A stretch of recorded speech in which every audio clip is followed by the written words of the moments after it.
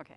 Um, good morning, everyone. Um, welcome to the plenary session of the IAU Symposium 373, but resolving the rise and fall of star formation.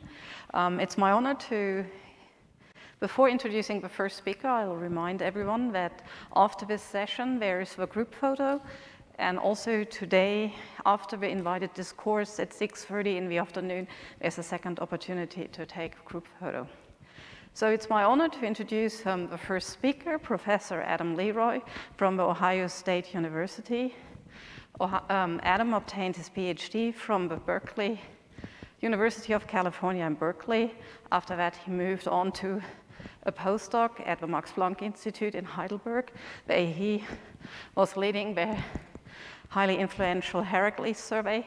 After that, he moved onto NRAO, where he was a Jansky Fellow and subsequently uh, took on a staff position. And after a couple of years there, he became faculty at Ohio State.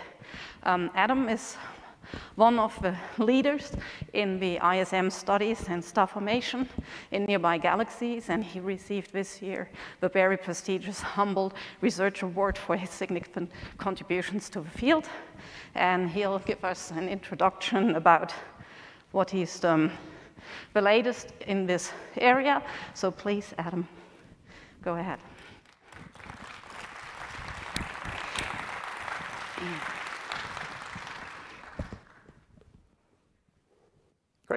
So hi, and thank you to everybody uh, who made it. Thank you very much to the organizers for this opportunity, uh, and to the first day speakers and poster presenters in uh, the 373 uh, session, uh, uh, which has already been fantastic. Um, so I know it's early in the morning. I hope you've already had a bunch of coffee, or at least some coffee. And my goal here is at least partially to try to keep you awake with plenty of pretty pictures of galaxies for a few minutes here. Um, so my goal is really to give you something between a taste and a summary of what we learn when we observe samples of local galaxies at high physical resolution across many wavelengths. Uh, and to do this, so my goal is to go over the basic idea, uh, give you some highlights of results from recent observations, tell you about some of the results that I think have emerged from the last few years uh, coming out of multiple groups, uh, and then finally say a few words about what I think key next steps are in this, uh, in this field. Um, but uh, I would rather show you a whole bunch of pretty pictures and plots than an outline, so let's just jump in.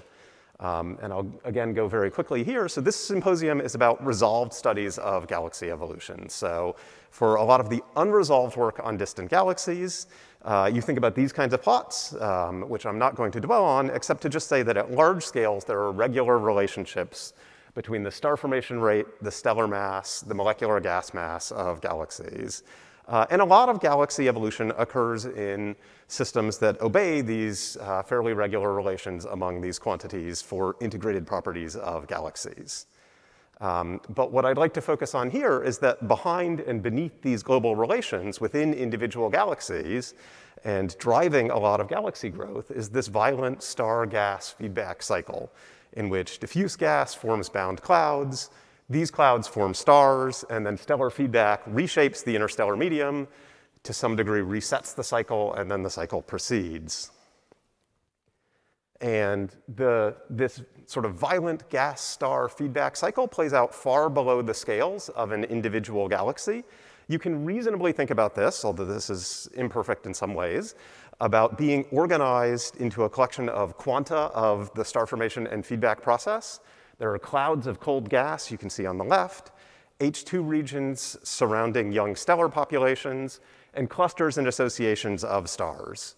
So these regions have size scales that are of order a parsec, up to 100 parsecs or so, so that with high enough resolution, you can observe galaxies and resolve them into these discrete units.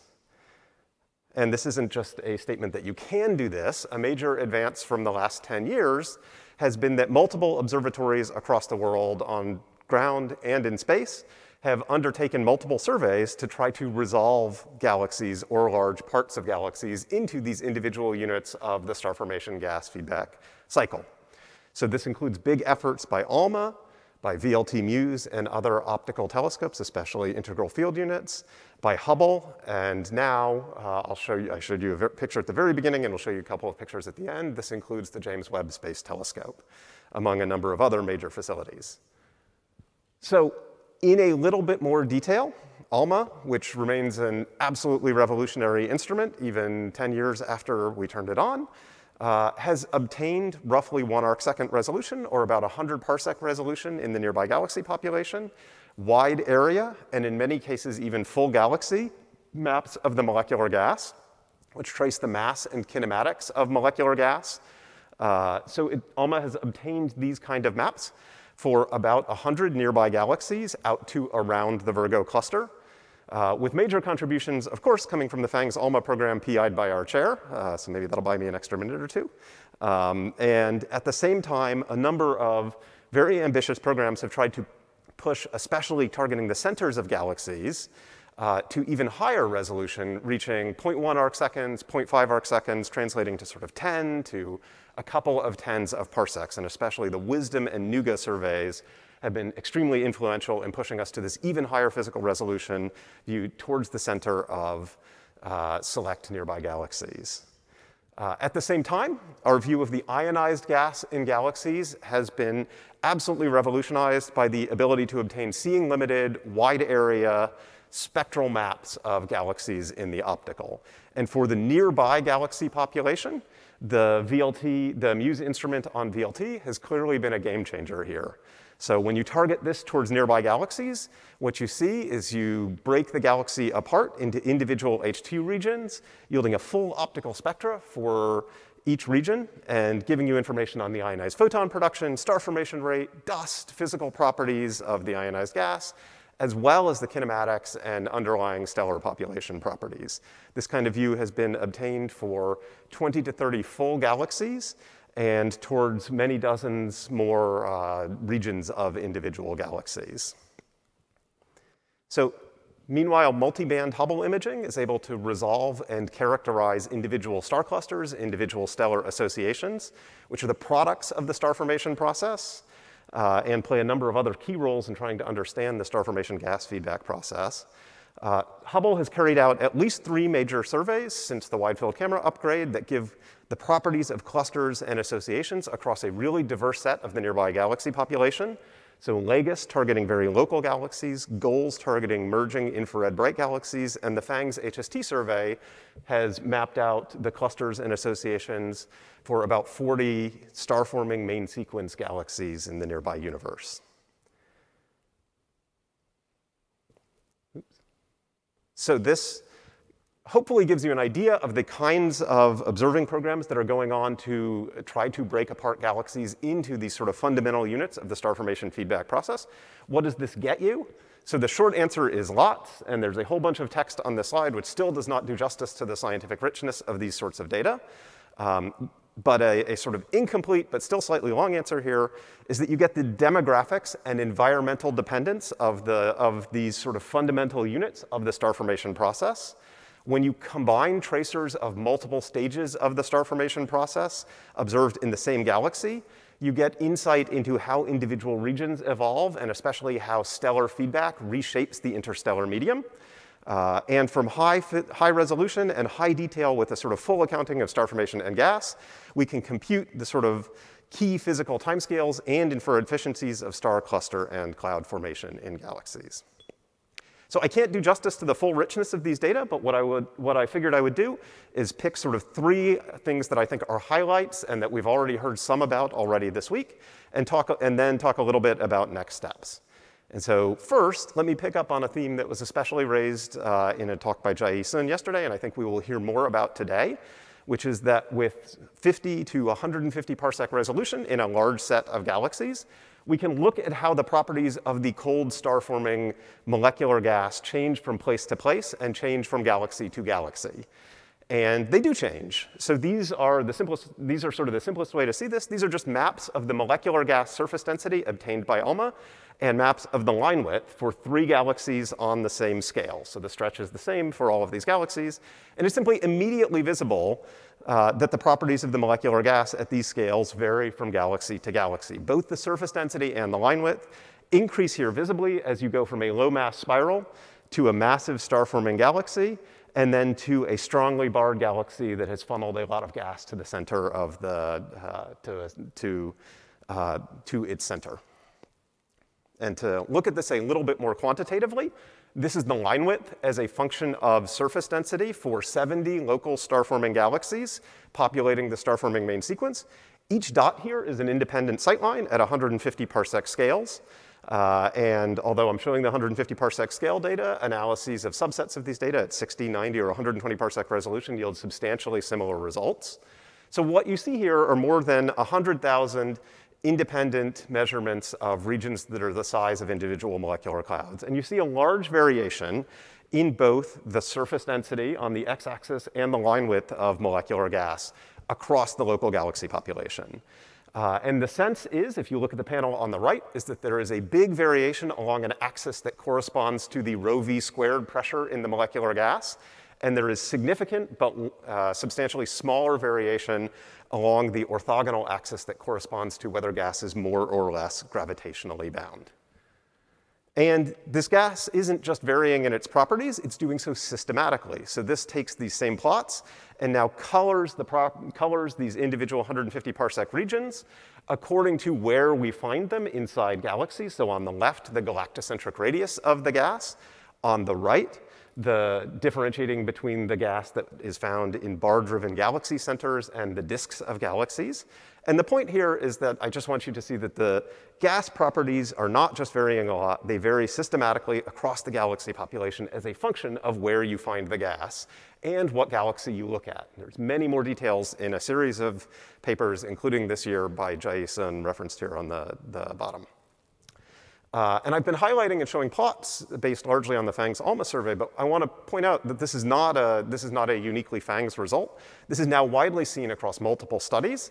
I'm calling out here a couple of uh, very nice recent studies. So the first showing work by Nathan Brunetti and Christine Wilson, which shows uh, very distinct gas properties in mergers of galaxies and LIRGs compared to normal disk galaxies and local group galaxies. And in the bottom, showing work by Fumi Egusa and collaborators, uh, demonstrating that when you break apart M83 into individual distinct environments and dynamical regions, the distributions of gas properties vary in a measurable quantitative way as you go from place to place uh, and region to region across M83. So what's going on here? Well, so one plausible answer is shown here. This is just showing that the internal rho v squared turbulent pressure in the molecular gas correlates well with the pressure that you would need to hold up the clouds and the disk of the galaxy combined in the full weight of the gas and the galactic potential. So what you're seeing here are points showing averages over individual one kiloparsec size regions in just under 30 galaxies. And so this is just saying that quantitatively, it appears that the clouds show an internal pressure, so this rho v squared term, that appears to reflect the structure of the disk around them uh, along with their own self-gravity. And so uh, we had a nice talk about this in the 373 symposium yesterday from Jiayi. Uh, and we also had a very nice talk from Bruce Elmegreen pointing out you know, that the disk structure is correlated to a host of observables. And so this leads uh, fairly directly to this plot that Jiayi showed already very nicely yesterday, uh, which is that a whole host of cloud properties on the y-axis here. So these are all population averages of giant molecular cloud properties in kiloparsec size regions across the nearby galaxy population. These all correlate. These are correlation coefficients uh, and these all correlate in a significant way with the properties of both the host galaxy and the region that you look inside the, uh, inside the host galaxy. So we're seeing cold gas coupling very directly to the environment that you study it in, which uh, may sound, you know, might sound obvious. Of course, gas should care about the galaxy it lives in, but this is very much not the view of molecular clouds that we came into this decade with. Uh, and so this has been very exciting. And so before I shift to tell you quickly about a couple of other topics, I want to point out that it's not just the cloud scale gas properties, but it's also the qualitative and quantitative morphology of the gas disk that changes in response to the host galaxy. So I'm highlighting here a recent paper led by Tim Davis and the Wisdom Group uh, that I think we'll hear more about in Martin Bureau's talk. Uh, so this shows that the centers of Wisdom and PHANGS galaxies uh, have a CO morphology that, when measured either quantitatively or just looked at visually, correlates directly with tracers of the stellar potential well and the star formation activity. So the sense is that early type galaxies with high stellar density often show smooth, low contrast gas disks. So we're also seeing the morphology of the carbon monoxide emission tracing the cold gas coupled to the host galaxy potential. So, cloud scale gas demographics vary with host. They appear to couple to the host galaxy, to the region that you find them in inside of a galaxy. What else do we learn? So, a key insight that we've also heard a fair amount about in the symposium so far, and we'll hear more about, uh, from heavily resolving galaxies in tracers that probe multiple phases of the star formation process, uh, is that you gain access to region evolution. So you see that very directly here in this beautiful plot from Kathryn Kreckel on the left, which shows you young massive stars glowing in H alpha, shown in gold, visibly separating from the molecular gas glowing in blue. So you can just see different stages of the star formation process, young massive stars and the cold gas that must have formed them appearing in different places once you resolve galaxies at high resolution. Uh, and if you believe that you're looking at a stochastic evolving population, you can take the statistics of these different types of regions, their frequency, their properties, and try to use this to reconstruct a life cycle of the molecular gas. And this was very nicely explained yesterday in the talk on M33 by Konishi and collaborators. Uh, and it was applied early to the Large, uh, the large Magellanic Cloud uh, by Kawamura and collaborators, but has turned into a major industry over the last few years. And so we heard yesterday from Hsi-An Pan about making a detailed statistical characterization of the relative amounts of H alpha bright and CO bright and both bright regions in a large set of galaxies at about 100 parsec resolution. Uh, so here, as in the sort of region classification approach, you see about the same number of CO bright, H alpha bright, and both bright regions within a factor of a few inside local galaxies. So since we know roughly how long H alpha glows for uh, in a stellar population, this implies that, uh, that massive stars are separating from or dispersing the molecular gas on timescales that are comparable to the ionizing photon production timescale of a single stellar population or a cluster, which is relatively fast. And we'll hear from Jaeyeon Kim tomorrow uh, about another really important version of this kind of measurements, which is fitting model life cycles to the flux ratio bias in progressively bigger apertures centered on H alpha and CO peaks. And Jaeyeon's new paper has fit models like this and made the measurements to fit them to 54 galaxies, which is a huge explosion in the number of, uh, in the number of these sorts of measurements that have been made before. Uh, and similar to the other measurements that I talked about, uh, uh this paper demonstrates a very fast time to clear the cloud once molecular gas or to reshape the interstellar medium once star formation appears coincident with the molecular gas, and a pretty fast lifetime for CO to have, star, have massive star formation onset. One of the very exciting things that I want to call out here, though, is that with a large population of galaxies in the panel on the bottom right, you can start to see how these timescales correlate with the environment that you attempt to derive them in. You can, so you can try to see how this region evolution depends on location in the galaxy and on host galaxy. And we also heard a very good talk in the session yesterday by Sarah Jeffreson going over this kind of uh, measurement in simulations. I've shown a bunch of H alpha, but it's also very important to emphasize that this isn't just an H alpha result. There have been multiple demonstrations of this sort of effect of separation of young stellar populations uh, and molecular clouds using clusters and associations from both the PHANGS HST survey and the LEGUS survey. So um, showing work here on the left from Katie Grasha's thesis work using LEGUS, and on the right from a paper led by Jordan Turner and Danny Dale, which Danny showed a very nice poster on uh, yesterday. And what both of these, so without going into great detail, what both of these show is that uh, as you look at progressively older cluster populations, because you could age date the clusters, you see a separation between the molecular clouds that must have given birth to the clusters and the, uh, and, the, uh, and the clusters, such that the youngest, uh, the youngest clusters appear associated with molecular clouds, but this correlation dissolves on timescales of order 10 megayears. So again, things appear to be evolving very quickly, and the statement here would be that stellar feedback appears to reshape the ISM, leading us to see molecular clouds, HII regions, and sort of all but the youngest clusters in somewhat different locations after 10, 10-ish megayears. And so assuming statistical cycling and assigning some stellar-based timescales to this, this appears to happen fast with the onset of star formation and the separation between massive stars and cold gas happening on timescales of sort of 1 to 20-ish megayears. But what about the star formation itself? So another thing which has maybe been a little less appreciated is that access to this very high resolution multi-tracer view gets also allows you to calculate or at least estimate the uh, critical timescales that many people have invoked as uh, the relevant timescales for star formation and cloud evolution in theories of galaxies or molecular cloud or star formation in molecular clouds. So these are things like the freefall time, the crossing time, the shearing and orbital times, uh, and this feedback cycling time that we dis just discussed. So you, you want to be able to estimate all of these, but estimating most of these requires a high resolution and often multi-wavelength view of the, uh, of the galaxy structure. And so if you get this high resolution view, you can estimate these timescales, and then by contrasting these timescales with the observed ratio of gas to star formation, to the star formation rate, over a part of a galaxy, you can estimate the fraction of gas converted to stars per timescales, or estimate the efficiency relative to each of these critical timescales. And I'll show you two quick slides on these efficiency calculations. So first, I want to explicitly call out results on the gravitational freefall time, because this has been viewed as a central timescale to many theories of star formation. But it requires an estimate of the gas volume density, which is very hard to pin down observationally from low resolution data.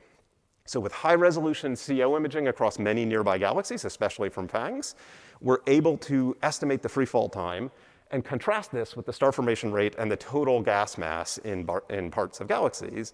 And this lets you estimate the distribution of efficiency per freefall time now in thousands of regions across the nearby galaxy populations. This is showing you results for 20-ish uh, PHANGS galaxies, the first, the first set of observations.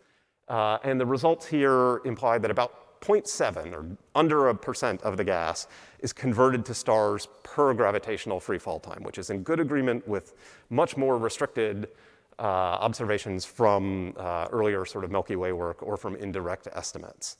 Uh, so the statement here would be that star formation rapidly reshapes the gas, but it's highly inefficient. Uh, and this isn't just true if you pick the gravitational freefall time. This is a more general version of this plot from Jiayi Sun's recent paper. And it shows that this is a statement that applies to not just the freefall time, but the crossing time, the feedback cycling time, and even the shearing time, the orbital timescale, or estimates of the cloud collision timescale. So in all cases, if you contrast the red bar that you see, which shows you the gas consumption time, the time to convert all of the gas into stars based on the star formation rate and the gas mass, you see that the estimated physical timescales, which are shown in these histograms or in the gold bar, are all far to the left of the gas consumption time. So this implies that only in the case of the freefall time, crossing time, or the, this feedback cycling time, only order a percent of the material is being converted from gas into stars per relevant physical timescale, which we now have these precise estimates of. Or if you look at the orbital timescale, uh, or the putative cloud collision times or shearing timescales, it's more like 5 or 10% of the gas, but in all cases, very inefficient. So let me close with a few remarks on where we go next. I've shown you that these types of observations show us that cold gas couples to the galaxy, that we're able to actually observe region evolution and this sort of feedback reshaping the interstellar medium in action, and that we're able to calculate efficiencies relevant and relevant to a number of, uh, a number of key timescales. But there is still a lot to do, and I want to call out three areas. So first, I absolutely believe we have to push this extragalactic work to much higher physical resolution. With 10 parsec resolution, instead of 100 parsec resolution, we can resolve GMCs, we can map out filamentary structure, and we would be able to look at external galaxies and make direct connections to the kind of Gaia-based work that we heard about from Catherine Zucker and collaborators, and has been so revolutionary in mapping out the interstellar medium of the Milky Way over the last few years. This is just demonstrating quantitatively using a plot on the bottom from Katie Grasha's thesis and showing the sort of PHANGS view of a nearby galaxy where we do have the very high physical resolution. And you can see that the jump from 100 parsec resolution to 10 parsec resolution is just a qualitative leap in how things actually look in terms of detail. This is doable for ALMA, and if you focus this power on the nearest galaxies, you can do this with ALMA and get the other phases of the star formation process because seeing limited observations of things like H alpha also achieve this high physical resolution. I think this is a huge next direction for these multi-wavelength studies to push to very high physical resolution, and the best way to do this is the closest galaxies. So as we heard from Erwin and Barbara and a number of folks yesterday, it turns out most of the gas in galaxies is actually not the molecular gas we're talking about here.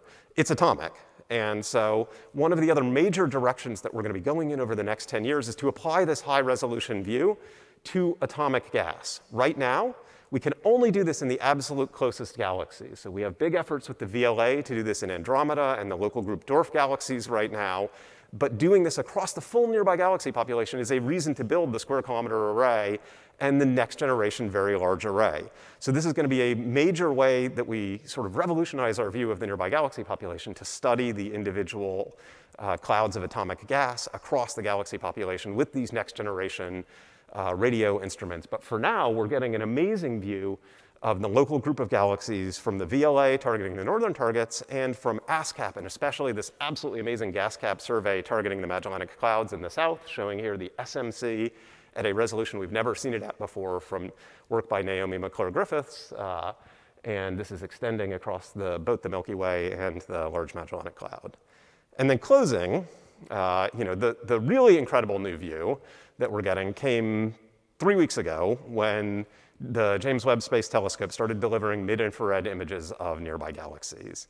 So these images, in addition to just looking absolutely beautiful, give us insight into both the star formation, the star formation activity in a galaxy, and they give us, uh, and I think this came as a surprise to a number of folks, an absolutely stunning view of the structure of the interstellar medium in galaxies. But what you're actually looking at is kind of complicated. It's the glow of small dust grains and PAHs illuminated by the stellar population so that there is radiative transfer, dust to, the dust to gas ratio, the PAH abundance, uh, and the heating sources involved here. So it's very clear that we have an incredibly powerful new view of the interstellar medium and star formation in galaxies from the JWST data, uh, but also that one of the big next steps over the next six months, over the next years, is going to be making the most of this absolutely fantastic opportunity. So since Eva is walking up, I will finish there, show my outline again, and say thank you very much for showing up so early in the morning, and I'm super happy to either take questions or talk about this at the coffee break.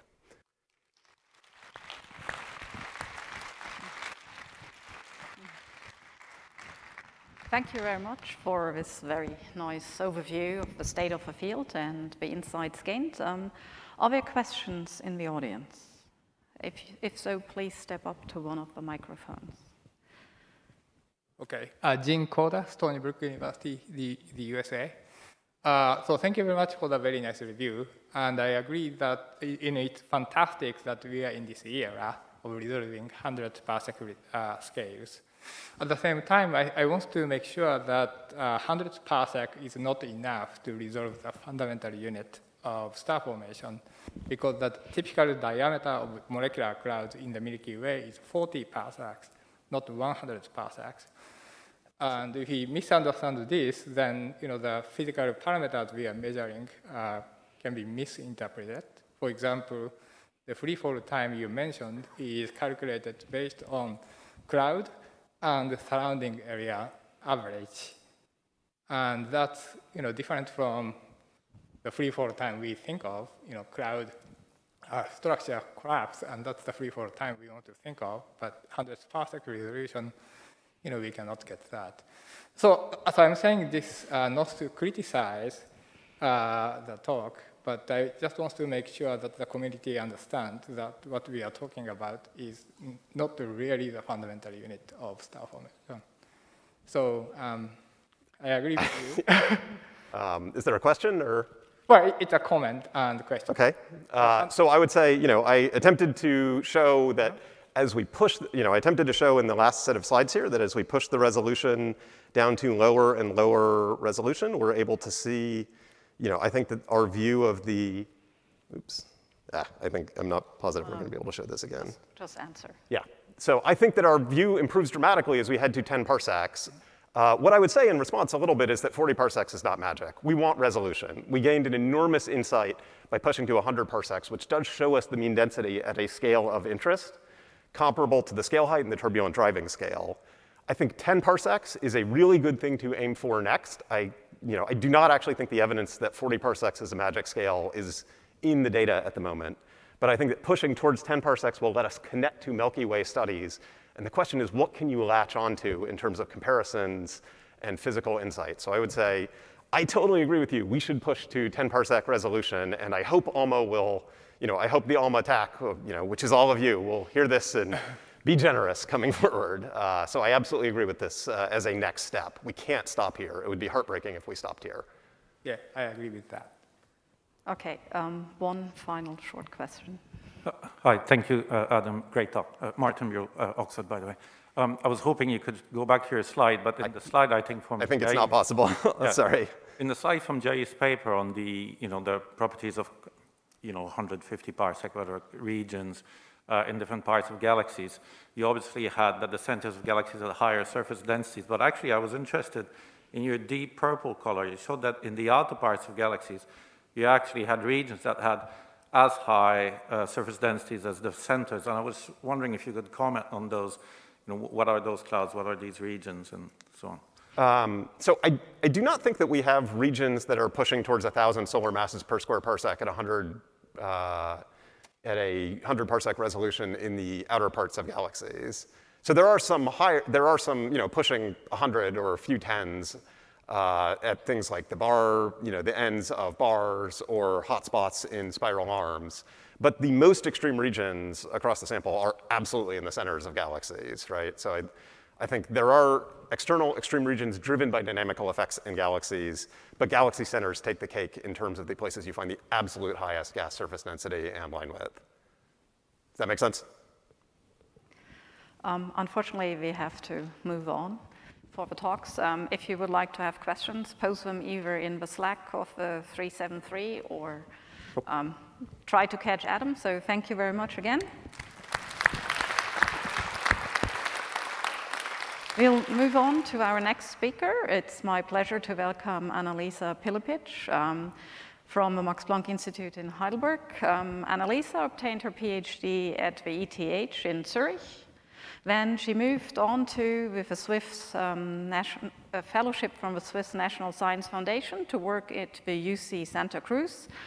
After that, she took on a postdoctoral fellow position working with Lars Hernquist in the Illustris project. And then we were lucky enough to convince her to come to Heidelberg. There she's been a group leader since and a staff member.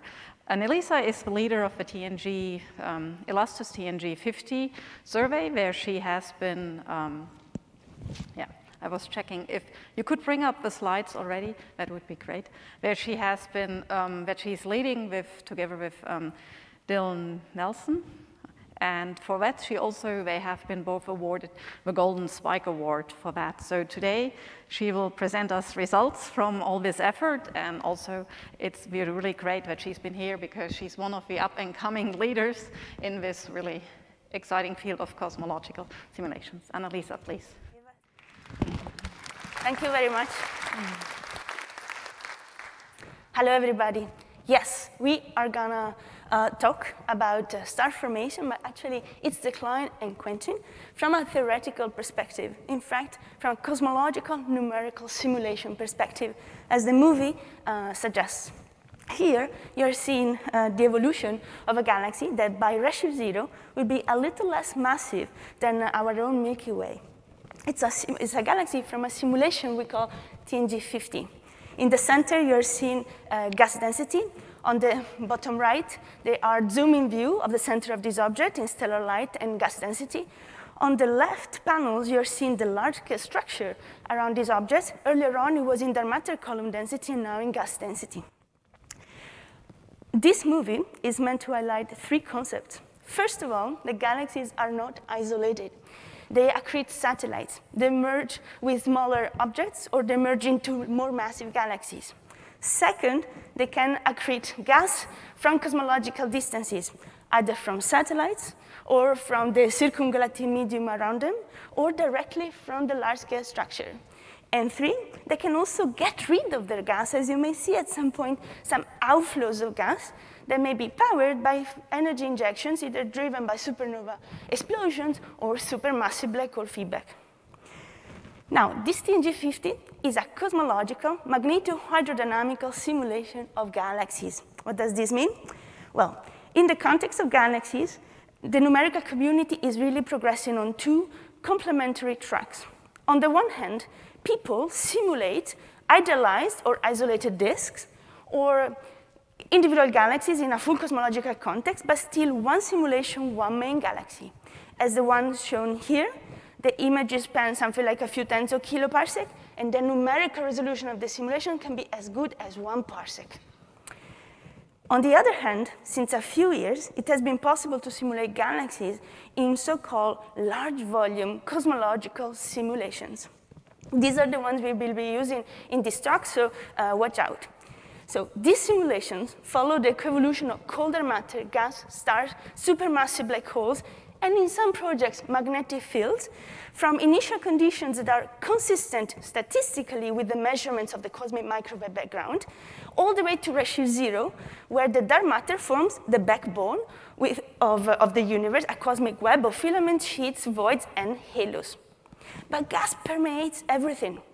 And in the spatial scale of one pixel in this image, these simulations actually realize resolved galaxies and also follow the coupled nonlinear processes across spatial scales so that phenomena that happens within the center region of galaxies can actually affect the surrounding dark matter and gaseous halos or even the large-scale structure and vice versa. The large-scale structure, say the cosmological gas accretion satellites, mergers, and more generally hierarchical growth of structure can affect galaxies. So this is done essentially by solving the coupled equations of gravity and hydrodynamics in an expanding universe, which in turn are coupled to numerical equations or uh, recipes that mimic star formation, cooling and heating of the gas, chemical enrichment, stellar feedback, or feedback from supermassive black holes. So this is done in the simulations we will be talking about, actually at the scale of the kiloparsec, or at best on average 100, 150 parsec in uh, the star-forming region of galaxies in the simulations I mentioned before, TNG50. So we are actually talking about larger scales and complementary scales with respect to the ones discussed with Adam, so cosmological scales. Simulations of this type are Eagle, Illustris, Horizon AGN, Magneticum from 2014-2015. More recently also SIMBA and the Illustris TNG. They all come with different implementations of the galaxy formation physics of relevance for these topics. Star formation is quite crude. Gas typically above a certain density threshold, is simply converted into stellar particles. And stellar particles represent mono-age stellar populations of, say, 10 to the 4, 10 to the 5, or even 10 to the 6 solar masses. So because we're going to use it, I'm going to um, focus, uh, I'm going to give you some more details about the Illustris TNG that I collect and developed together with my colleagues around the world listed here. So TNG stands for the next generation Illustris. It followed on the successives of the original Illustris simulations of 2014, and it now comprises three boxes, the aforementioned TNG50, TNG100, and TNG300. Larger volumes mean larger statistics, more galaxies. Smaller volumes means that we could afford better resolution. If you want to remember just one thing or three things about TNG that set apart from other simulations uh, projects is that it's based on the Arepo code, which is a moving mesh code for the solution of hydrodynamics. It includes magnetic fields, and it has a combination of volume and resolution that remains unmatched. We're talking about something like 30 billions among cells, gas cells, and particles. So this was possible thanks to rather substantial computational and development efforts so to give you an idea, TNG50, which is the smallest in volume, but really the mightiest of the simulations, took something like 130 million CPU hours. So 16,000 cores of Hazel Hen in Stuttgart worked 24-7 for one year. So this is not something you can do every year. But such a large calculation gives us an enormous dynamical range and an enormous information content, both on large scales, as I mentioned earlier, as well as subhalo subgalactic scales. Here is again a large-scale structure of the universe from TNG50, but now you're seeing it in the gas. And the colors denote the mass-weighted average of the Mach numbers in hydroshocks. You may notice the gravitational collapse shocks along filaments or shocks due to feedback. These are a few tenths of the thousands of galaxies in TNG 50, seen in stellar-like composite as if observed with the Hubble Space Telescope, including radiative transfer in post-processing, so you can see dust lanes and the effects of dust on stellar light. More TNG galaxies, redshift 2, only star forming, face on, edge on. On the left, it's H alpha luminosity. On the right is a, is a stellar-like composite in three JWST NIRCam uh, bands. But what about more um, exotic wavelength? X-ray is pretty exotic for the galaxy community. And here I'm showing you X-ray maps of TNG50 galaxies. These simulations naturally return many Milky Way-like galaxies that also exhibit X-ray coherent shells or cocoons or bubbles above and below their disks, similar in morphology to the one that has been seen by eROSITA, the X-ray telescope, in our own Milky Way. But as mentioned earlier, galaxies are not just isolated. Actually, the majority of them live in dense environments, like in groups of 10 to the 13 or 10 to the 14 total solar mass in total mass. This is one of them. You see it depicted in mass-weighted gas temperature, and you see the effects of the dense gas on the orbit of the satellite galaxies in this group, or in more massive clusters. Again, two other examples from one of our simulations of Virgo-like clusters with um, stellar mass density projection. Now, the systems realized and simulated by current state-of-the-art cosmological models are not only beautiful, but they are also uh, reasonably consistent to varying degrees with observational facts. I'm gonna really focus on three facts that are relevant for the topics of today. First, simulations like TNG return approximately the trends, the evolution of the, in time, cosmic epoch of the cosmic star formation rate density. Here, the curves are simulations. The gray data points are observational inferences, where you can notice the big star formation rate density in the universe at our cosmic noon, redshift 203, and a subsequent decline. However, this is a bit, um, in some projects, is actually partially by construction, but it's not at all by construction that these kind of simulations all naturally return a star-forming main sequence and actually predict a star-forming main sequence all the way to very high redshift. In these plots, you're seeing global star formation rate versus galaxy stellar mass at different redshifts.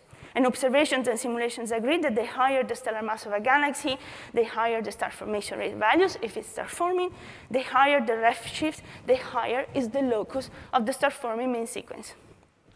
Three, simulations of this type successfully return two distinct classes of galaxies. Actually, we have seen them earlier, um, star-forming galaxies on the star-forming main sequence and galaxies that fall off from the main sequence, or you can see them here as blue versus red galaxy in the G minus R versus stellar mass colors.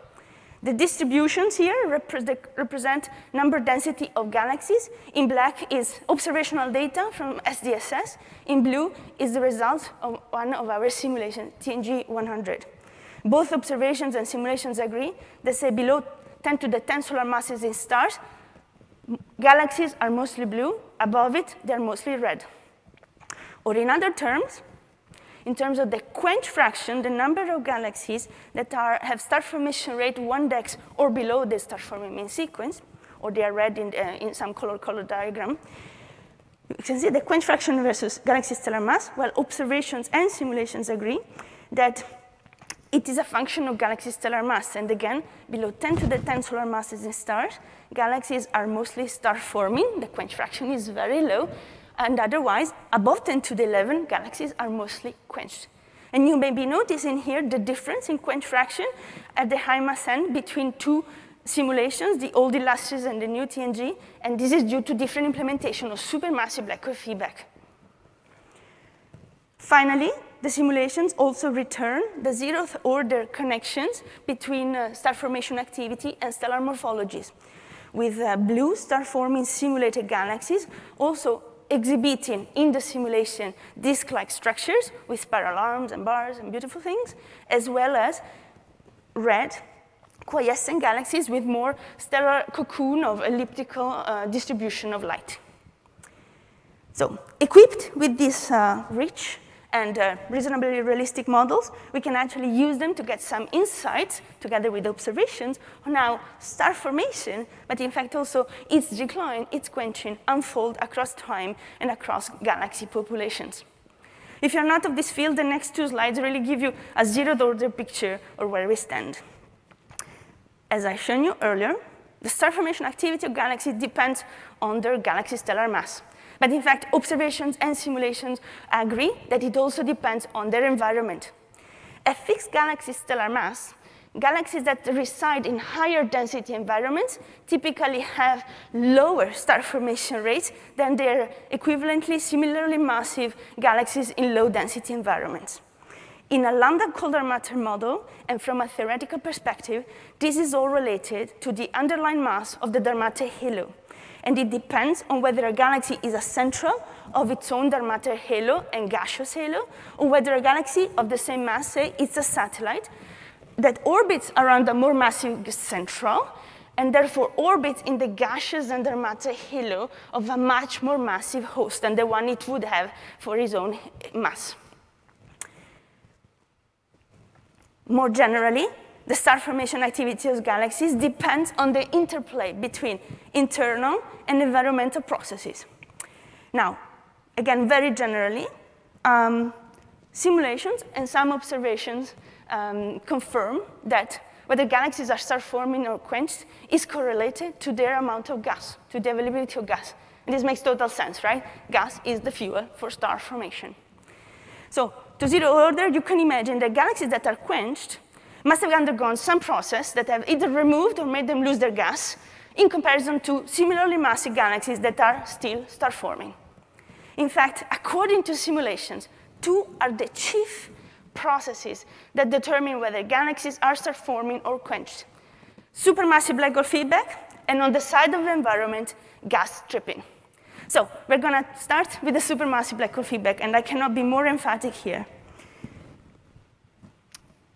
within the boundary conditions of large cosmological simulations of large samples of galaxies, no mechanism other than feedback from supermassive black hole have been shown to be able to quench entire populations of massive galaxies to the levels consistent with observations. M mergers, morphological quenching may quench some galaxies, but not all of them, otherwise we would have caught them. And by supermassive black hole feedback, I mean energy, momentum, or mass exchange sourced from the innermost regions of galaxies and energetic enough as the energy that is available from supermassive black hole growth. I'm gonna demonstrate this claim based on TNG. Again, this is a color galaxy stellar mass plot, and you see two sets of galaxies simulated. In uh, red, they are from the TNG fiducial model. In blue, are from the model, the same model, but with switched off AGN supermassive black hole feedback. A red, quiescent population of high-mass galaxies develop only when supermassive black hole feedback is on. And this is a general feature of all successfully realistic cosmological simulations of galaxies. In particular, in our TNG model, this supermassive black hole feedback is the one that is in low accretion rates, radiatively inefficient kinetic mode. In practice, to give you a bit more of an idea, we implement this in a subgrid fashion by invoking either high-velocity accretion disk winds of the black hole or small-scale jets. Really, this is a scheme that shows you the idea on a very zoom-in version of a galaxy. Energy from supermassive black hole is donated to the surrounding gas cells uh, as kinetic kicks in different directions at different time steps of the black hole and in a pulsated manner so that as a function of uh, average in time is an isotropic injection. But this, in the lower right part of the slide, is what we implement at the subgrid level, at the injection scales of a few hundred parsec. And this is what comes out when you actually run simulation with this model. From left to right is gas velocity, gas temperature, gas density, and gas metallicity. Supermassive black hole-driven winds trigger outflows of gas at large scales of 1,000 kilometers a second that shock hits the gas in and around galaxies, creating low-density bubbles uh, below and above galaxy disk of highly enriched uh, gas. Four more points I want you to take home. The same feedback mechanism is both ejective and preventative. It's ejective in the sense that it's trigger quenching by removing gas from the star-forming region of galaxies. It's preventative in the sense that the uh, shocks actually uh, thermalize, the, mm, convert kinetic energy in thermal, uh, in thermal energy, and they offset the cooling time of the gas around galaxies that could potentially in future um, uh, um, cool down to make star formation. And this ejective nature of the quenching mechanism is typical also of other successful simulation projects like EAGLE. But on the other hand, there are two other points I want you to see. The effects of supermassive black hole feedbacks uh, extend to spatial scales that are much larger than the energy injections in which the um, supermassive black holes uh, live. And the supermassive black hole driven outflows and the effects are not isotropic, even though the, en the energy is injected isotropically. So TNG postulates an inside-out quenching of galaxies. These are maps of stacked galaxies, massive ones, in SSFR, so specific star formation rate, star formation rate divided by stellar mass, of galaxies below, on, and above the star-forming main sequence. And this supermassive hole feedback, by ejecting gas from the middle, also create this hole in the star formation maps. This inside-out quenching is actually consistent with observations with 3D HST data. Now, the plots are showing you um, SSFR radial profiles.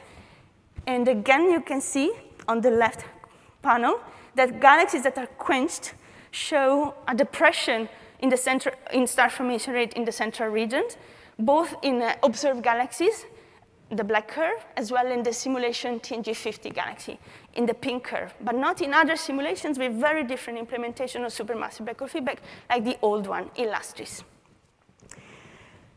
Oopsie.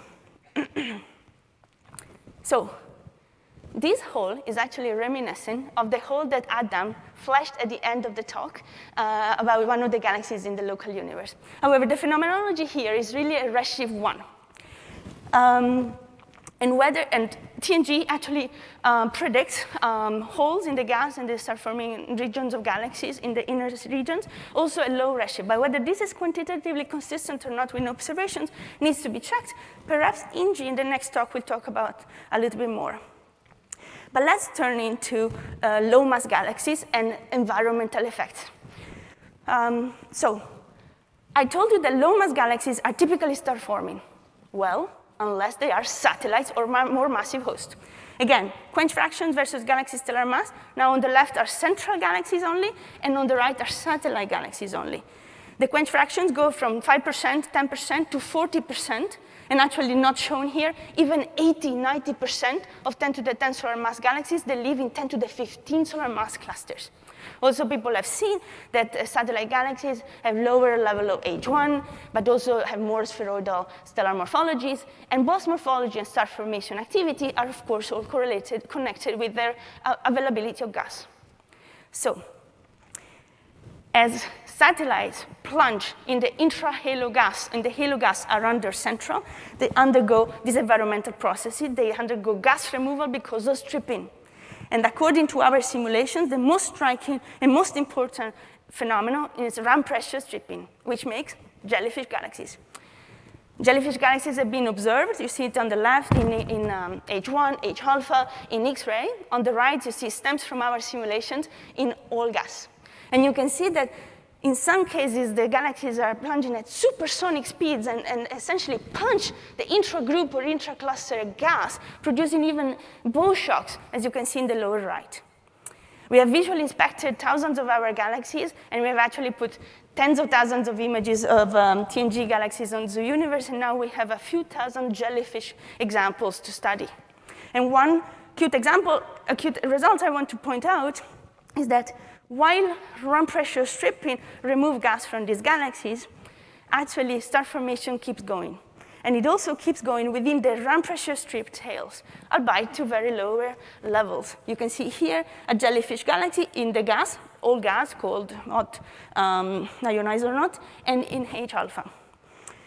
If we plot the star formation rate global again versus galaxy stellar mass, we can see actually the some tails, the star formation rates that are even above the star forming sequence of the global TNG50 galaxies. But generally, we do not find uh, a population-wide elevated star formation rate of jellyfish galaxies compared to the um, control galaxies, as some but not all observations are, are, are pointing out.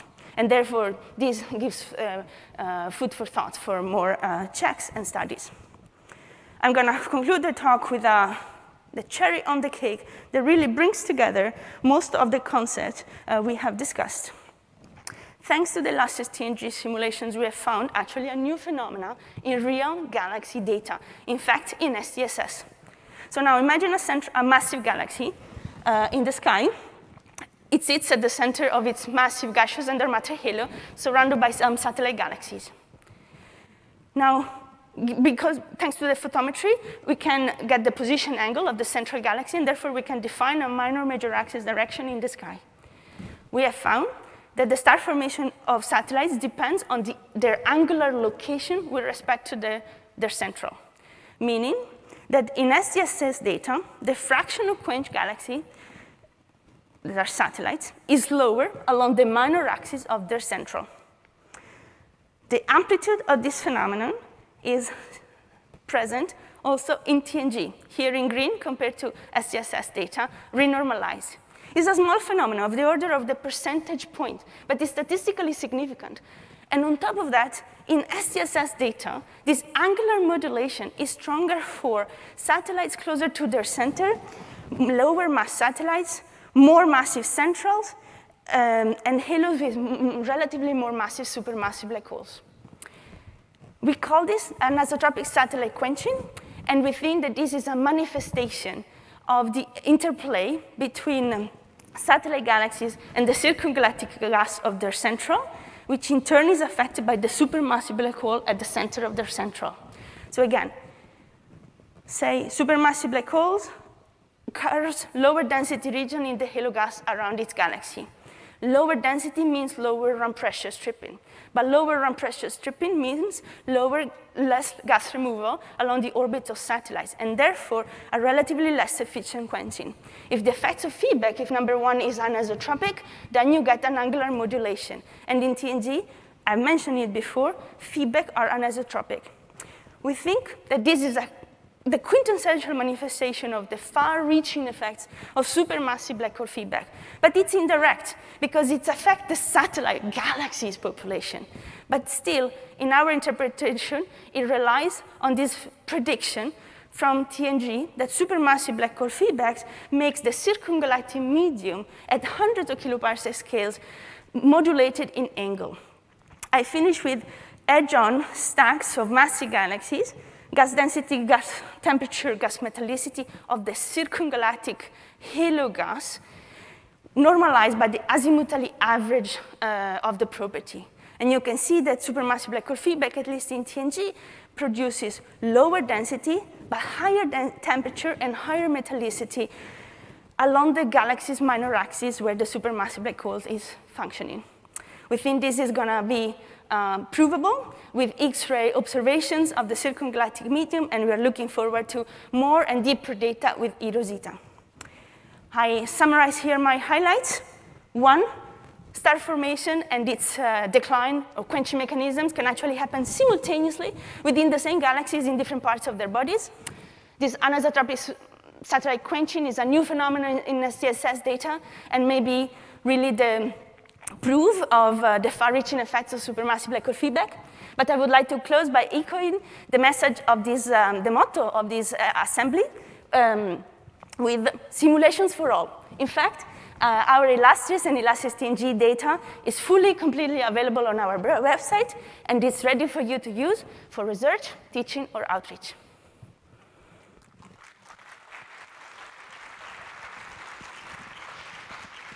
Thank you very much for this um, overview of all the exciting results coming out of simulations. Um, there's time for one quick question. Yes, please.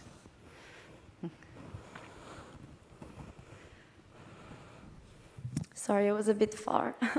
uh, thank you. This was impressive, a very interesting talk.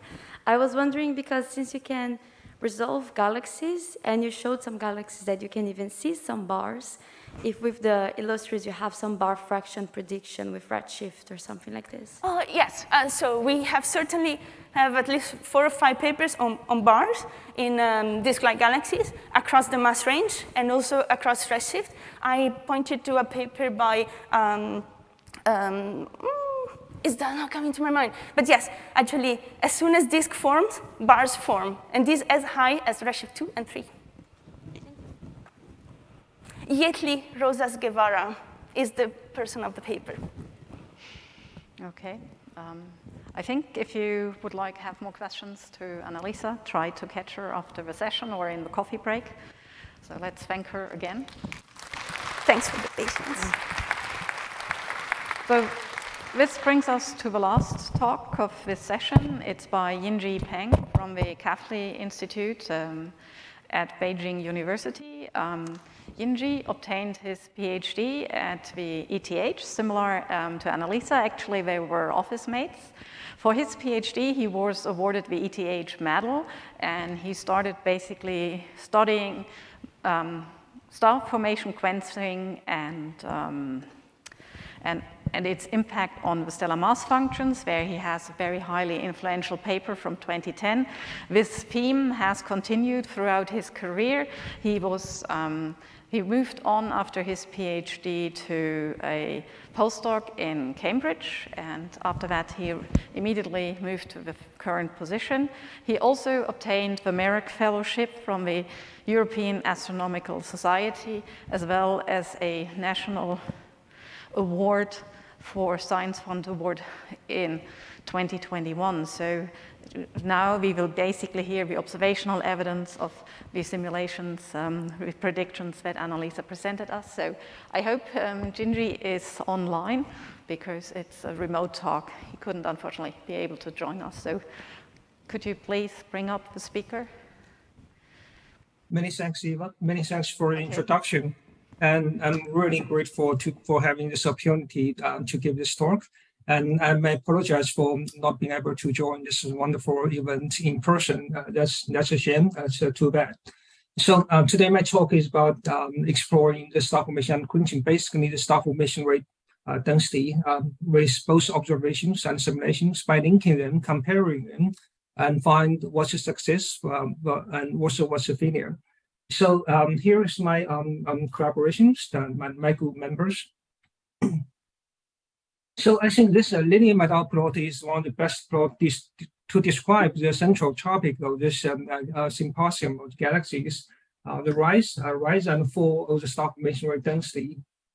So um, we want to understand what the drivers behind this um, cosmic star formation rate. Um, so I think there's three important things. Uh, first, this is an um, SS bar specific star formation rate as function of redshift uh, I call it cosmic clock, and I will show later why uh, why I it um, cosmic clock. And the second one is um, star formation and also quenching. And the third one is merging. I think these three processes are very important, and both uh, putting them together, they shaping uh, they shaping what um, um, the star formation density looks like. Okay, these three things also determines another important um, uh, fundamental property is the stellar mass function evolution.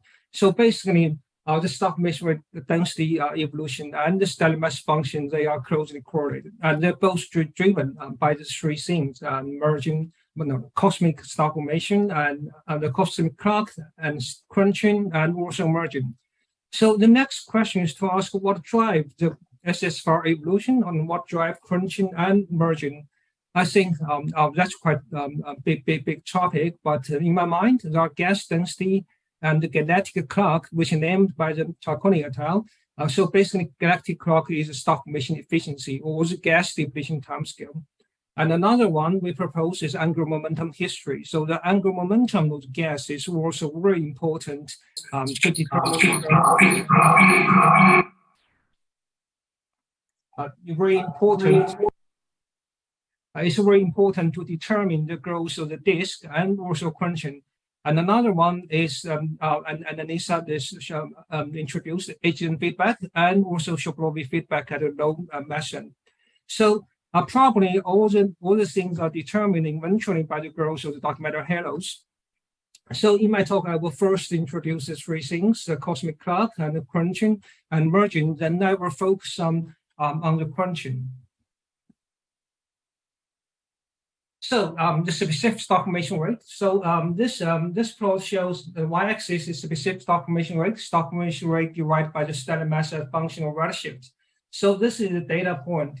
And the green short line, this line is the um, specific accretion rate of the matter halos.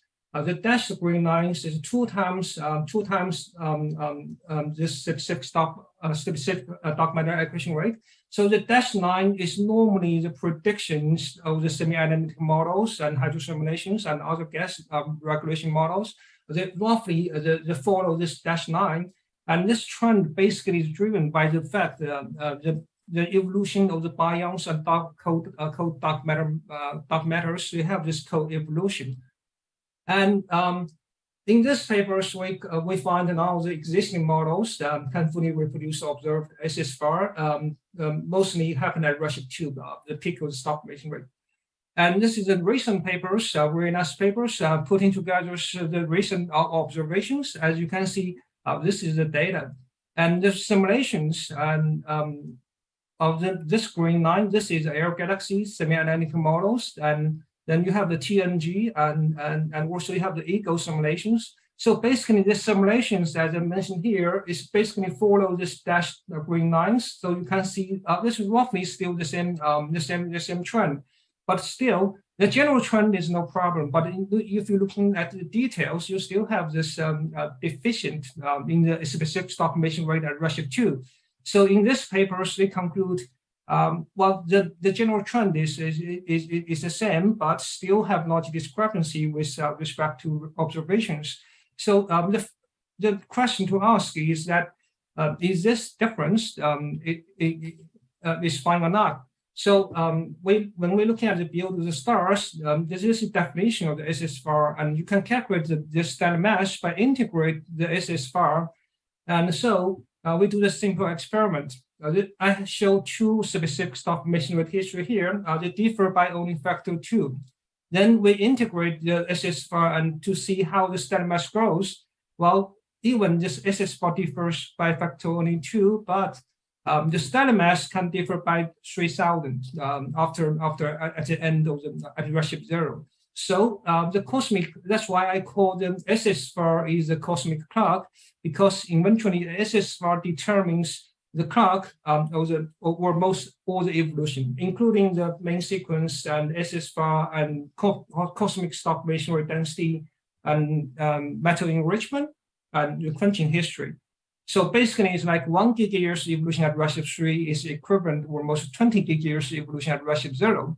Uh, so evolution at Redshift, um, high Redshift is much faster than in the local universe. So indeed, the SSFR is very important, one of the most um, um, important uh, quantities controlling the, the global evolution speed of the universe. So the next one is the merger rate.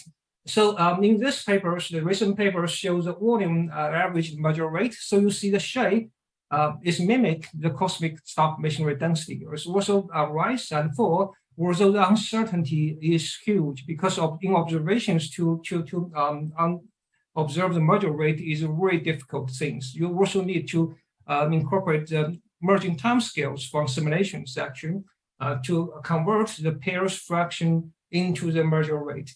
So uncertainty is huge, but still um, the general shape looks like the cosmic star formation rate history.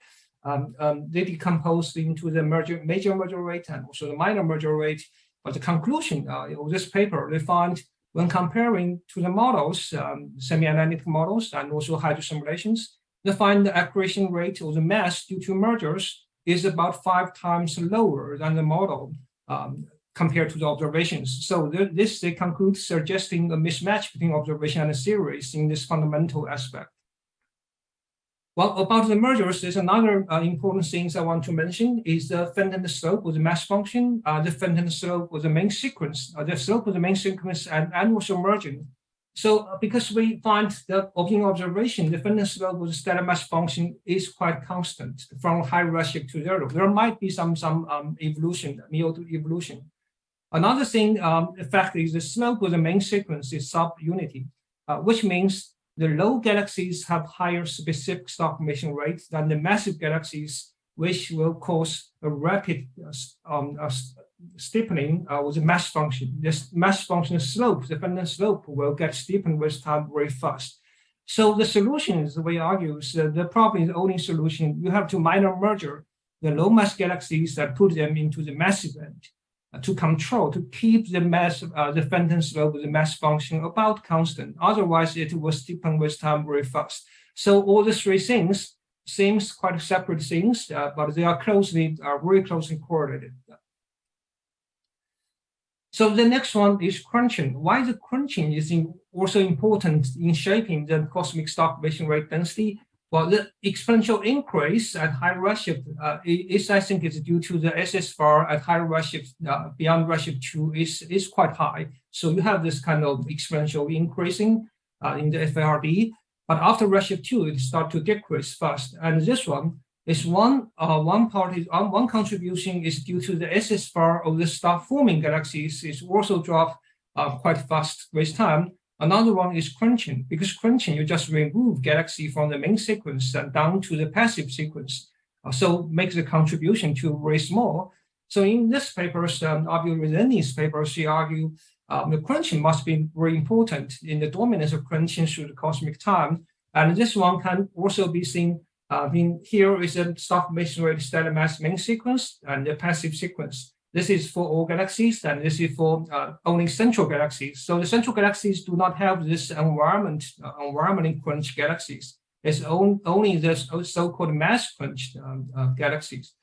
Well, this plot, we just um, weighted the y-axis, the number uh, weighted by the stellar mass. So uh, you can see this um, the predominance, um, the peak uh, of the mass quenched galaxies in stellar mass so the majority of the stars in the local universe actually reside in the mass quenched galaxies. So the mass quenching must be very important in shaping the uh, cosmic star formation density. So the uh, SSFRD history basically is also the quenching history. So um, if we want to understand the rise and fall of the uh, star formation, cosmic star formation history, we need also to understand the quenching history. So uh, when comparing with the simulations to observations, uh, here um, in this paper, they show the quench fraction as a function of stellar mass. Uh, in the old, uh, in the old, this is old Illustris, and this is a new, uh, the TNG. And you can see when you change, as Annalisa mentioned, you change the feedback models, it have quite important um, outcomes of the quench fraction. this is for the centrals, and this is for the satellites.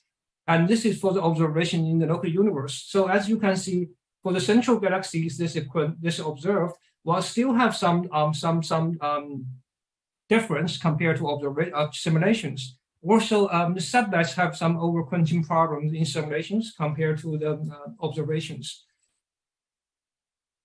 So uh, we have this um, uh, this simulation in the past decades has have increased and uh, have advanced a lot. It's really become one of the most important tools to understand the universe. But one thing in simulation is when looking at different simulations, they have different recipes, um, very different recipes uh, in um, AGN feedback and um, the Shaprovich feedback.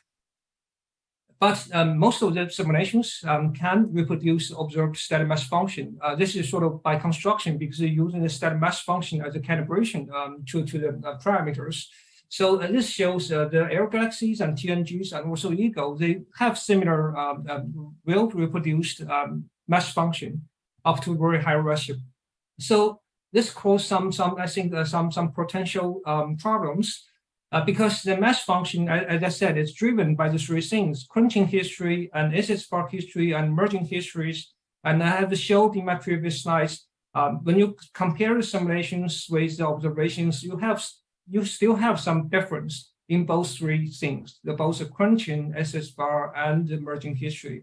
But eventually, the outcome, uh, function, they all look similar to the observation. So this highlights some fundamental process might, might still be problematic in simulations and also in the semianalytic models. Well, on the other hand, um, on the other hand, we still have this um, um, the my um, um, phenomenological models. Um, this um, this models. Uh, um, so in this simulation, this is a just a pure um, visualization. Uh, you first face, oh, sorry. Um, At high rush, the mass function just involves the mass event until reach the characteristic Schechter M star. It start to build up vertically. So this trend um, is when you compare with observations um, in the past 10 years, uh, still uh, works uh, quite well, um, even with the recent mass function to very high redshift. So the dash line, the dash line is the model, uh, and the short line is the feed to the data. As you in the local universe, in the low redshift, it works very well. At high redshift, uh, is less well. But if you're looking at the data point, um, with one data point, still is not not bad. So this, this phenomenological approach um, is low physics, but in general agreement with the mass function, SS-Fock history, crunching history, and uh, merging history. So the question um, I, I, want to ask is uh, then what's the, what is mass crunching, the physical mechanisms? So here I show again the, the main sequence, um, star formation rate standard mass for central galaxies. And this is the mass functions. As you can see here, uh, the the solid line is model prediction, is not a fit. Uh, so you can see indeed this phenomenological model works uh, very well as can match with the observation data were most uh, pre uh, precisely, very precisely. And this mass crunch galaxies, uh, they also featured with alpha element in-house and also old populations. So when you work throughout the continuity equations and observe mass functions, you we can calculate the required mathematical form of mass crunching rate. Um, a crunching probability, which is very simple. Star formation rate divided by a constant. Uh, Schechter M star is constant. So you have higher star formation rate and you have higher probability to be crunched. Uh, that, that, that's required by the data, required by the mass function uh, evolution. So basically, this is the answers. Uh, I think that this is mathematical answers, but still we don't know what's the physics. So the next question uh, is to ask what's the physics um, of this mass crunching? So to explore the mass crunching in the local universe, we have to select uh, some uh, very special sample, I call massive central disk galaxies. Why? Uh, because many ellipticals are formed at high redshift.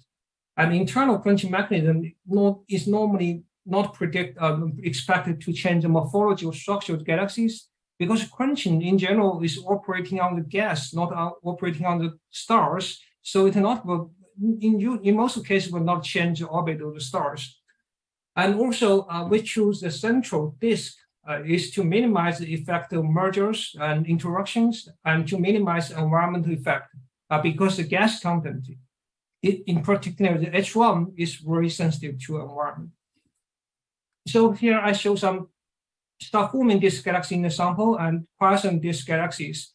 When we compare, the next thing is compare the gas content of both the H1 atomic gas and H2 gas as function of star formation rate uh, for these massive galaxies, massive central disk galaxies. So doing this crunching, as we can see, is quite astonishing. It's like the H1 gas con content is almost constant.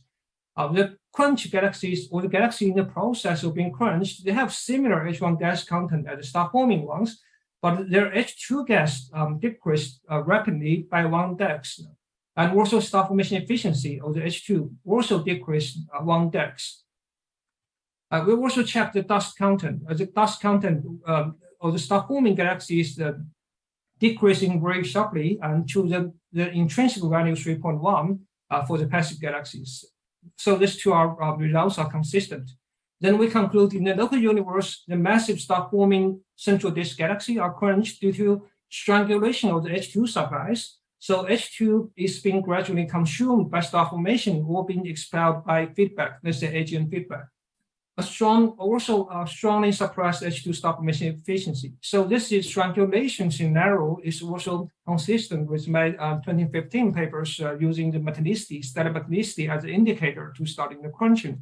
Uh, so I think there's a nice um, um, um, consistency. Um, this readout is from a single dish antenna, so we do not have a resolution. But we can see uh, this is resolved data, not so many of them, uh, but we can try to try to speculating. Uh, this is the uh, optical st stars, and this is H1. So this plot in this um, uh, galaxy is overplot H2, uh, H2 and in red and H1 in blues. So our scenario basically means when the galaxy get quenched, you still have a H1 disk uh, in the outside, outer disk uh, is still rotating, but you have the H2 inside uh, in the center of disk on the stellar disk, then depleted. So if we show the H1 profile of star forming and passive, then it looks very similar. And even for the quench galaxies, there's a double horn profile integrating. Indeed, they have a, regular rotating H1 disk. So in observations, you still have you can um, you can also see this um, um, some galaxies indeed have the huge H1 disk, but there's no molecular gas inside. So um, the next uh, things we also want to looking at the structures of this uh, uh, galaxy's massive central disk galaxy again. Um, when the star formation will decrease, the bar frequency increase from almost 20% to almost 100%. So bars must be very important, no matter as a cause or as an outcomes. And the central velocity dispersion also increased fast, and also bulge to disk ratio also increased rapidly. So this this introduced uh, this is um, uh, uh, indicating maybe morphological quenching or some gravitational quenching at work. We're also looking at AGN frequency. Um, uh, in the same plot, star formation were decreasing from star forming to passive. Uh, it's quite remarkably, um, AGN fre frequency increased to almost 100%. So all these quenched central massive disk galaxies, I have AGNs, uh, although they are LINERs. Uh, LINERs, we ask them as liars or LINERs, uh, but many recent studies to show the LINERs, uh, they could be um, genuine low luminosity AGN, low AGNs. So, um, so this observation indicate probably kinematic feedback, uh, the low accretion mode from massive low luminosity AGN uh, indeed the massive galaxies. So putting together these scenarios, we have these pictures. Um, um, so you have the gas doing the crunching. Um, you have the, the H2 inside is consumed by gas or by the AGN feedback. Then you, when the gas get crunched, you have H1 disk um, outside. And the bars also increase, and the bars increase, and also AGN frequency also increase. Then later, you probably still need a major mergers to destroy the H1 disk, to destroy the stellar disk and transform into the elliptical galaxies. Uh, but still, uh, we need to, we want to figure out what's the, what's physical mechanisms. Uh, so we're using simulations. So uh, we compare this this plot observations with the TNG um, simulations, and the gas content H1 and H2 uh, with the TNG and newspapers, uh, it's quite remarkable. Uh, there is a really re remarkable agreement between the TNG predictions and observations. And, and, and Lisa already mentioned what's, what's the physical mechanisms or the kinematic mode to quench galaxies. And we also, uh, to show this pictures, these two galaxies in TNG, one start forming and one is passive. And when we look at the gas density profile, um, this is for the star forming ones and this is for the quenched ones. And this one is in the simulation, the threshold, uh, the minimum gas density threshold to form stars. You must be higher than this um, threshold, then the gas can form stars. So although the passive galaxies, indeed, they have a lot of cold gas, but they're all below this threshold. This makes uh, quite clear what quenched galaxies in the simulations by the AGN feedback. They just smooth out the high density peaks and so you have gas, but you do not form stars. I think I, I think I personally I quite like these pictures. Um, um, it's a very nice consistency between simulations and observations. So it's very likely indeed the AGN feedback uh, quenching massive galaxies. But somehow we still want to ask a question, is there any non-AGN solutions to quench massive galaxies, at least some of the uh, massive quench galaxies? The possible mechanisms could be halo heating, uh, morphological quenching, bar quenching and the new mechanism we proposed under momentum quenching. Why we need this? Because there's still in observations, some galaxies, pure disk galaxies, get quenched. The central galaxies, they don't have a bars. Um, and also, we know for, for many years from the um, literatures, um, in this, like from the Avishai Dekel and uh, Joanna Woo's work, the halo seems not important to quench the central galaxies. So this will mostly rule out all these uh, other quenching mechanisms make them uh, the ones uh, attracting the angular momentum quenching. So what's the angular momentum quenching? So um, we're using observed scaling relations at different redshift, uh, main sequence and size evolutions, and then we can calculate for individual galaxies. If we trace their evolution, what the stellar mass will increase and what the size will increase. And then we can calculate what's the angular momentum of the galaxies, of individual galaxies will change from redshift 2 to redshift 1. As you can see, the increase is quite huge, uh, could be up to a factor 100. So the rapid growth of the angular momentum requires angular momentum of the inflowing gas uh, must be aligned. So the gas in, so the, um, the inflowing gas fueling star formation and disk growth must also secular increase with time.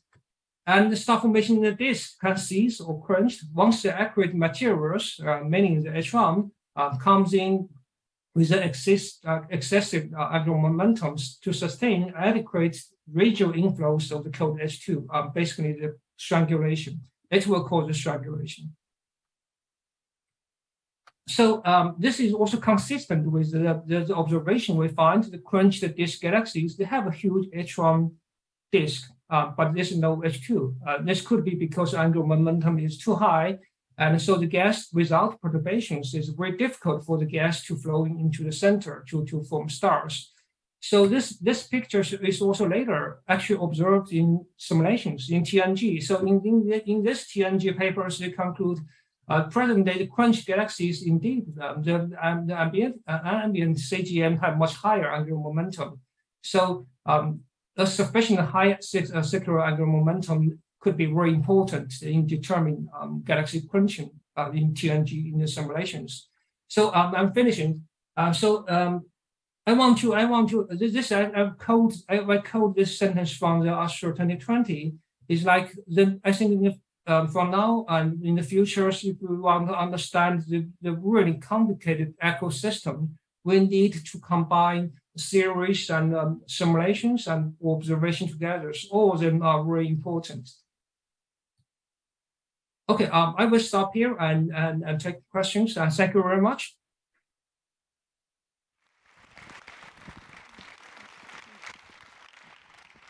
Um, thank you very much for presentations. Are there questions in the room?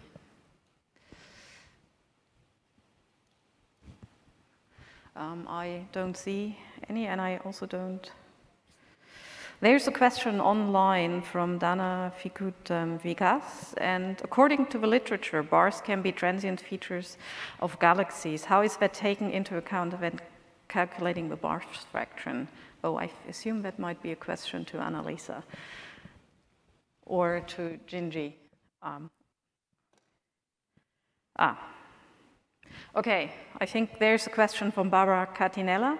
Um, says, thanks Yingjie for your talk. You mentioned that central massive and passive galaxies have similar H1 content to star-forming systems.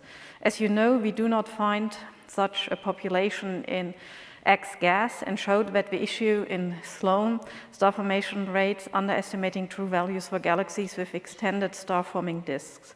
Can you comment on this? Oh, yes. Um, let me have this slide. Um, uh, just a minute, let me try to find a slide. The star formation rate doesn't matter. So in actually in our, uh, let me try to find this slide. i Oh, maybe try to answer without. I don't have, um, okay. Yeah.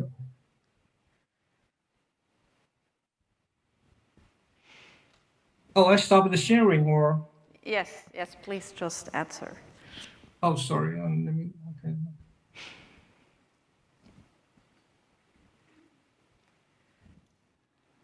Okay, so in this plot, um, in this plot, well, we show the both the stock rate uh, indicators. Um, the upper row is for the uh, H alpha, the low, um, the lower row is for the UV plus infrared. So we show um, um, the same plot for the gas content H1 and H2, uh, H1 and H2, and also bar frequency and AGN frequency. So you see the trend uh, for both star formation rate indicator are exactly the same. are exactly the same, but the absolute value of the star formation rates indeed are different. So for the HR alpha star formation rate, uh, you call this galaxy called crunch galaxies, but for UV uh, plus infrared star formation rate, we call them galaxy in the process of being crunched. But the problem is, as I said, uh, the trend are the same, and the most importantly, even for the UV plus infrared galaxies, uh, the star formation indicators, the H1 gas content have dropped one dex, uh, have dropped over one dex. Well, for these galaxies, the, the, the star formation rate might not be that low um, if you're using UV plus infrared, but still the molecular gas to the H1 gas ratio is very low. And these galaxies that do not think they can keep forming stars, they will be quenched quite soon because of the very low H2 gas content. And also you can see the bar frequency and AGN frequency. So all these trends are very similar.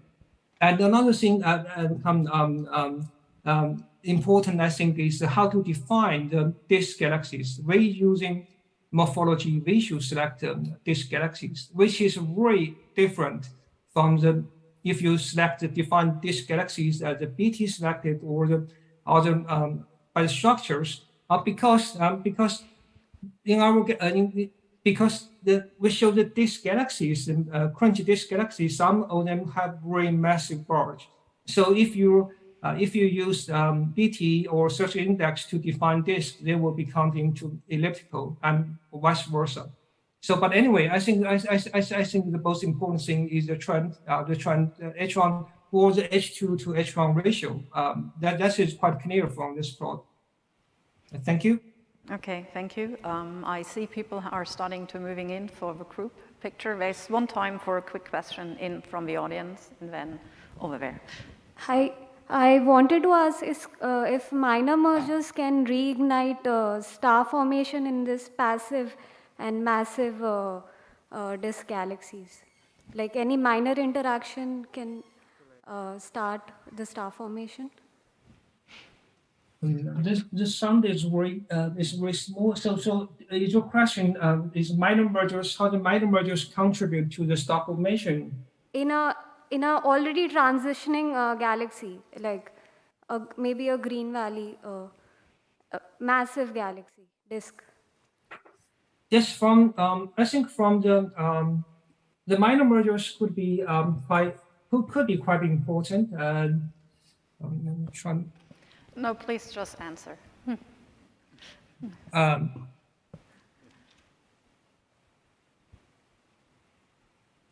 Well, let me find this thought. Um, Yingjie, can you please just answer? I think um, otherwise, I, th I, would also suggest that you um, coordinate on, on the Slack, either the 373 Slack or the IAU 2020. Because from observations, you can the minor mergers they can contribute about to 30% of the of the of the mass increase um, like, like in this papers, I think the the the shown black shown line, this is the major mergers, and then uh, this dash line is the minor mergers, and so so um, they also calculate what's the final contribution. I see. I remember. I think the minor merger contributes still of thirty percent of the mass accretion. So the minor mergers, indeed, they are very important in shaping the structures and morphologies and also the size evolutions. Uh, but for, for the star formation, and they could be also quite important, not negligible. Thank okay. So thank you. Um, let's thank all the speakers again. Thank you very much.